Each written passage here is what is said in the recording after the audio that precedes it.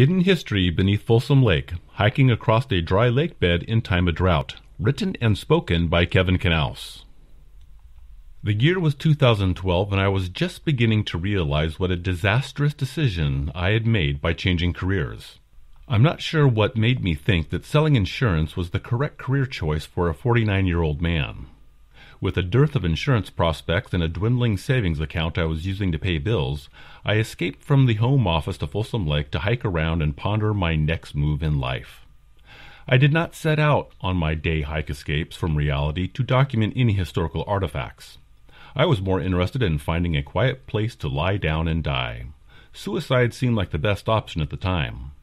It was also during this time that California was beginning to be gripped by an epic drought and Folsom Lake was shrinking more and more every summer.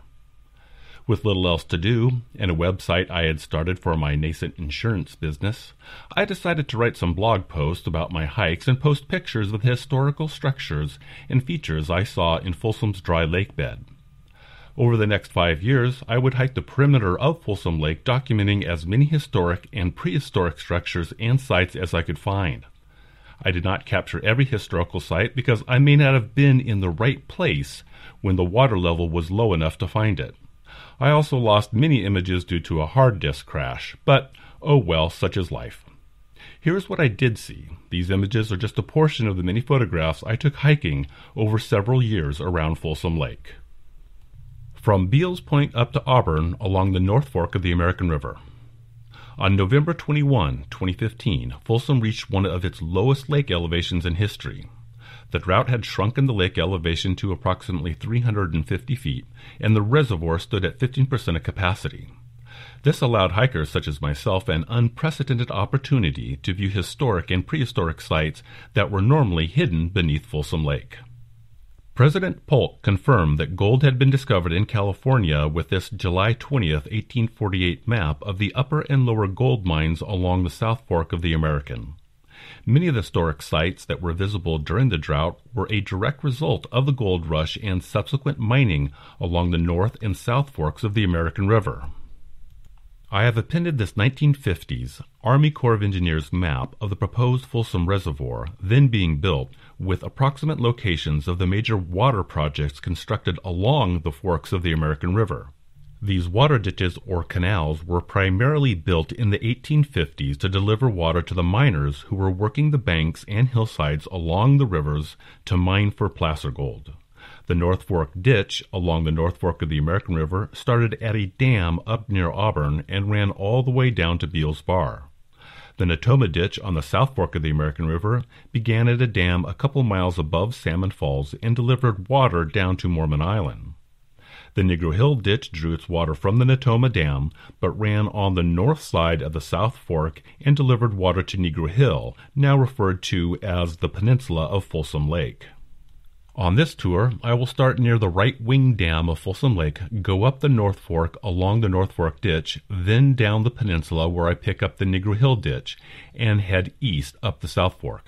The final leg will be reviewing the historic sites I documented, beginning at Mormon Island and then east up the South Fork to the Natoma Dam site. One of the first structures I encountered, and made me want to research the history, was this concrete lined canal it seemed to be headed directly to the right wing dam of Folsom Lake. It is the remnants of the North Fork ditch. The canal was delivering water to the North Fork reservoir that is partially buried under the right wing dam. The elevation of the canal at this point is approximately 400 feet above sea level. Before Folsom Lake was finished in 1956, water in the North Fork Reservoir would be directed down Slate Bar Branch along Auburn Folsom Road and into Baldwin Dam to be distributed to Orangevale, Fair Oaks, Citrus Heights, and Carmichael. The North Fork ditch had several lateral ditch lines.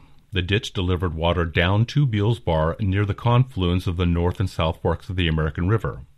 Construction on Folsom Dam and its many side dams or dikes has erased many parts of the canals and roads in the area. One structure that was not knocked down was a concrete diversion structure near the old North Fork Reservoir. Wooden boards would have been slid into grooves in the structure to divert water either into the reservoir, Beals Bar Branch Line, or over to Baldwin Reservoir. This area is directly south of Beals Point State Park. Beginning in the early 1910s, the North Fork Ditch improved much of their conveyance structures by lining the canals with concrete and installing metal flumes across creeks and ravines. This was to stop the estimated 30% water loss due to seepage through the earthen lined canals. It is a rare find on a historic structure to have a date inscribed on it, but I found this date of 1915 on a concrete diversion box just north of Beals Point. This concrete structure north of Beals Point was a support for a half moon metal flume that carried water along the North Fork ditch over a small gully. This image is looking east on top of Dike 5. The cuts you see were made by the Army Corps of Engineers to drain water from the base of Dike 5, created by a small rise in the landscape. You might be able to detect a faint line of dry ground that runs into the circle denoting Rose Springs. From all my research, this should have been the road created by the Sacramento, Placer, and Nevada Railroad that began in Ashland and at this point was following the North Fork Ditch. This 1861 map of the Sacramento, Placer, and Nevada Railroad shows the line as it skirted the North Fork Ditch Reservoir, headed north, then veered northwest past Rose Springs. The railroad line then followed the Allen Ditch, a branch of the North Fork Ditch, northwards up to Miners Ravine Creek. This 1941 USGS topographical quadrant map illustrates how the Allen Ditch split from the North Fork Ditch and traveled east along an old road, which was most likely the old railroad grade. The elevation marker of 396 is where Dike 5 is today. Going back to the Dike 5 photo, you might be able to see a dark line that runs right under the Rose Springs Circle. That is the trickle of water flowing from Rose Springs. This 1887 map of Placer County denotes the town of Rose Springs, the North Fork Ditch, and the Allen Ditch branch spur. This was Rose Springs during the drought, still putting out a trickle of water in the middle of August. This small flow of water was able to create a shallow pond that was an oasis for birds and wildlife. At this point in the drought, Folsom Lake was close to a mile to the east. Before Dike 5 was built, Rose Springs emptied to the west.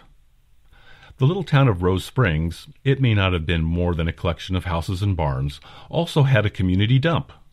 When the sunlight is correct, you will see little sparkles on the ground, pieces of glass reflecting the sunlight. This was a small collection of glassware and pottery I found and stacked on some granite outcroppings nearby.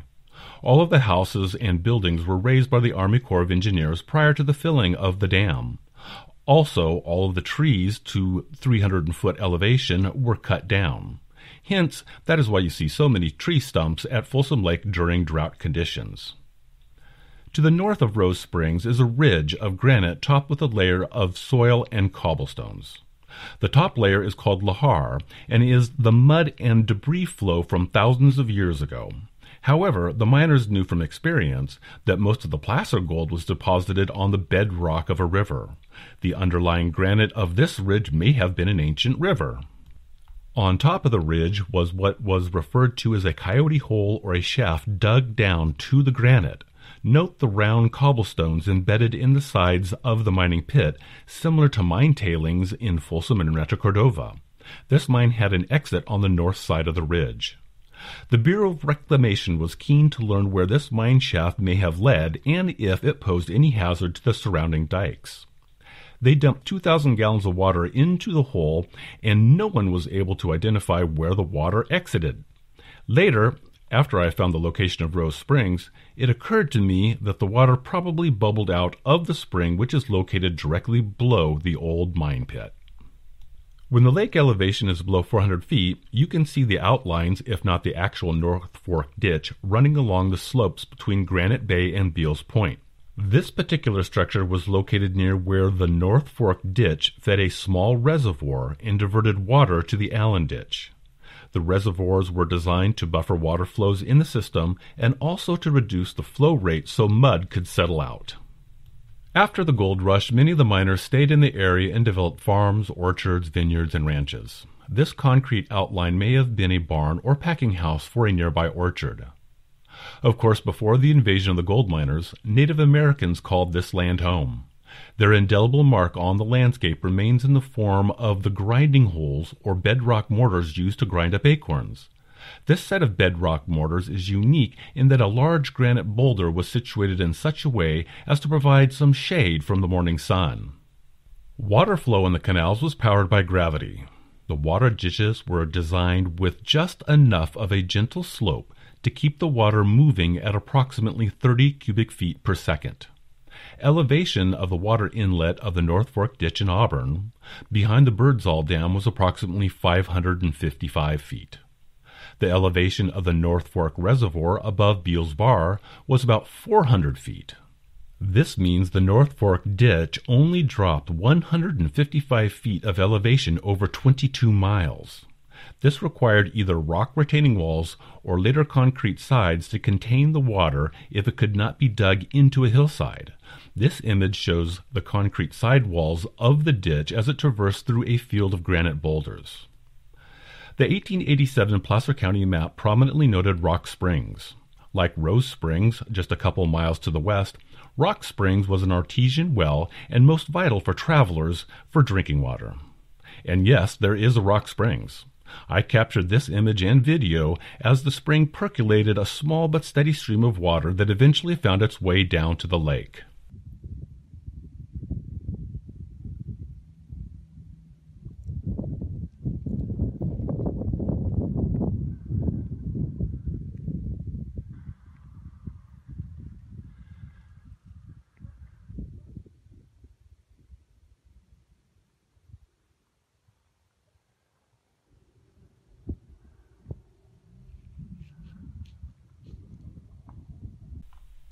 Right below the North Fork ditch is the remnants of the Rock Springs house. The final owner was Peter Dickinson. Peter was living with his daughter Etta May when they received an offer from the Army Corps of Engineers in 1952 to purchase the house and hundreds of acres of his ranch, all of which were in the footprint of Folsom Lake. Etta May refused the offer to sell and then regretted her decision. Fearing the government would pay them less than the original offer, May surmised the only solution was to die on the property. To this end, she shot her father Peter, but could not kill herself after she set the house ablaze. She was arrested on the day of the murder and would commit suicide a couple days later up in Auburn at the county hospital. Because of the construction of all the boat ramps at Granite Bay State Park, not much remains of the North Fork ditch. The lake level will never get low enough to expose anything of the town of Carrollton. These Native American grinding holes can be seen at the Oak Beach Day Use site. East of Beek's Bight at Folsom Lake, there is one concrete foundation right along the line of the North Fork Ditch. Supposedly, the area was named for a flour mill. Even though the flow in the North Fork ditch was not swift or strong, many adjacent landowners did construct water wheels powered by its flow. I do not know if this was the case with this structure, but here it stands. Many of the sections of the historic water ditches have been obliterated by the water and waves of Folsom Lake, but occasionally you come across sections that have become a de facto trail with a wall of granite on one side and the concrete wall of the ditch on the opposite. You will also see structures like this one, which may have been a wastegate and or diversion to a farm or mining operation. Note how far above the lake the ditch is in this photo, and even higher above the river when it was constructed. Doton's Bar was a fairly significant mining district along the river. It was opposite today's northern boat launch at the Peninsula Campground. After the placer gold was vacuumed up in the riverbed, miners focused on the western riverbank and mined hydraulically. I was amazed at the acres of river cobble mine tailings at Doton's Bar. This part of the river mining was noted for the almost cement like nature of soil. The consolidated nature of the riverbank is displayed in this odd pillar of earth left standing. I'm not sure if it was a marker between mining claims or something else, but it stuck out like a sore thumb. I found this broken rice bowl near the base of the mined riverbank. Doton's did have a Chinatown, but this old artifact may have washed down from Auburn. This 1954 USGS topographical map shows the general area of my hikes around Kehoe Canyon, Horseshoe Bar, Zantgraf Mine, Goose Flats, Rattlesnake Bar, and Gwynn's Lime Kiln. As this map indicates the high water level of Folsom Lake, you will note that the North Fork ditch was permanently above the water level north of Rattlesnake Bar. In 2020, the Bureau of Reclamation announced that they will be raising the dam three and a half feet, which will inundate more of the North Fork ditch in future high water lake fills. Today's Anderson Island, when Folsom Lake is full, is the location of Kehoe Canyon, also referred to as the Narrows because the river got pinched between two large outcroppings of granite. This relatively narrow distance between both sides of the river was a good spot for a bridge. This image shows the Placer County side abutment for the bridge over Kehoe Canyon, but it was not a bridge for men or wagons. It was a suspension bridge that carried a water pipe to deliver water to the El Dorado County side. This photo shows the 4 inch cast iron round stock driven into the granite as an anchor for the suspension cables that supported the bridge. From pieces of the old water pipe, it looked to be a 12 to 18 inch in diameter water pipe. It tapped into the North Fork ditch on the western side and conveyed the water over to the Zantgraf mine. Preliminary research indicates the bridge and water pipe were built around 1898. This image shows a 10 inch chiseled square into the granite next to the bridge abutment. This would have held the wooden upright post that the suspension cable was draped over before being anchored to the granite. This old photograph shows a much lighter pedestrian suspension bridge over the South Fork of the American River, but gives you an idea of how the suspension cables were mounted. The Zantgraf is above the high water level of Folsom Lake, but most of the old mine is within the state park. This is a photo of a stone column that may have been part of the headworks or stamp mill at the Hard Rock mine. A short distance from Kehoe Canyon is this unique stone aqueduct. However, it doesn't look like it ever conveyed any water of the North Fork ditch, as a canal went around this structure. In addition, there was no cement or mortar in the shallow canal on top of the aqueduct. The water you see at the bottom of the photo is seepage from the lake level on the other side. This close up view of the stone aqueduct shows no mortar and how smaller rocks were stuffed into the interstitial spaces between the larger granite rocks. Around Horseshoe Bar, the North Fork ditch had to be cut into the granite. While the river side of the ditch has washed away, the cement lining still remains. High atop a granite pinnacle, I found several Native American grinding holes. It must have been quite a view when pounding the acorns as the river drifted below. While it may not seem historic, I was pretty excited to stand above the North Fork of the American River and watch it flowing freely around Rattlesnake Bar. This has only happened a couple times since Folsom Dam was completed and may never happen again with the increased dam height. During this low lake level, an old river gauging station could be seen on the El Dorado County side of the river. There was not much left of the fabled community of Rattlesnake Bar that I saw but I was able to document the bridge that was named Gwynn's Bridge after the man who rebuilt it after the original had been washed away in floods of 1862. This is the Rattlesnake Bar Bridge abutment on the Placer County side. This image shows the El Dorado County side abutment capped with cement. This is an image of my son when he was about 10 years old on top of the abutment on the Placer County side.